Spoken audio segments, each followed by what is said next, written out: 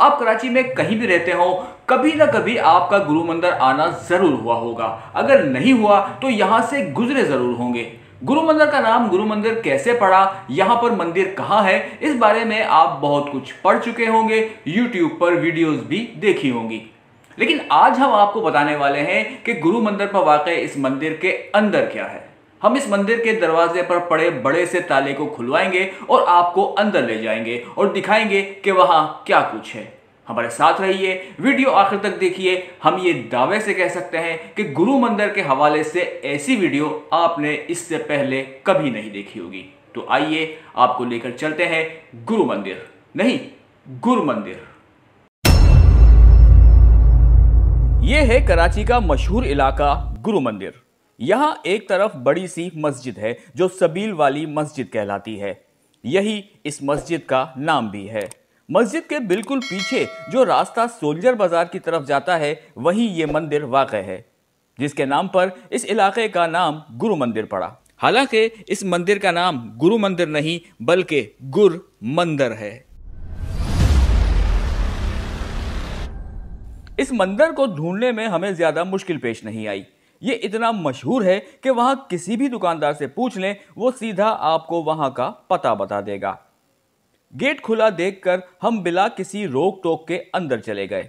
अंदर अहाते में दाखिल होकर कहीं से भी नहीं लगा कि हम किसी मंदिर में हैं, क्योंकि इमारत का ढांचा कहीं से भी मंदिर नहीं लग रहा था। इस जगह का जायजा लेने के दौरान वहाँ अजीब सी वीरानी महसूस हुई। यूँ लगा जैसे शहर से बहुत दूर किसी वीरान मकाम पर पहुँच गए हों। लेकिन फिर जल्द ही बाहर की गुजरने वाली गाड़ियों ने याद दिलाया कि नहीं भाई, आप कराची जैसे पुरशोर शहर में ही मौजूद हैं। 1935 में तामीर होने वाली ये इमारत आज भी पूरी मजबूती के साथ खड़ी है। हमें कहीं भी इसमें कोई दरार वगैरह नज़र नहीं आई।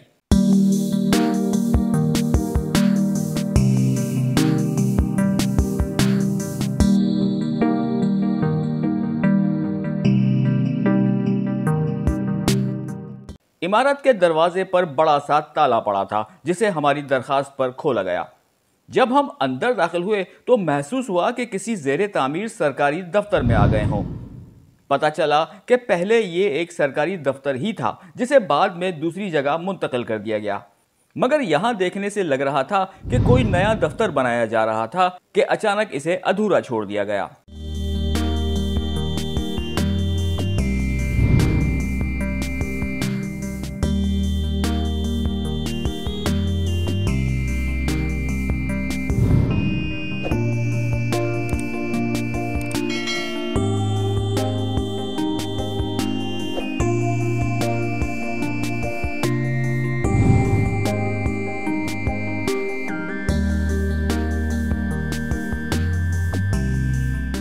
पहले इस जगह की तीन शिफ्टों में निगरानी की जाती थी।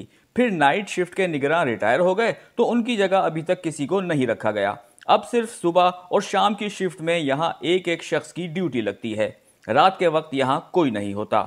यहाँ सफ़ाई सुथराई का कोई इंतज़ाम भी देखने में नहीं आया। यूँ लगा जैसे बरसों से यहाँ किसी ने झाड़ू तक नहीं फेरी। गुरु मंदिर अगरचे सदियों पुराना नहीं, मगर इसके बावजूद इसकी तारीख या हिस्ट्री के बारे में ज़्यादा मालूम दस्तियाब नहीं।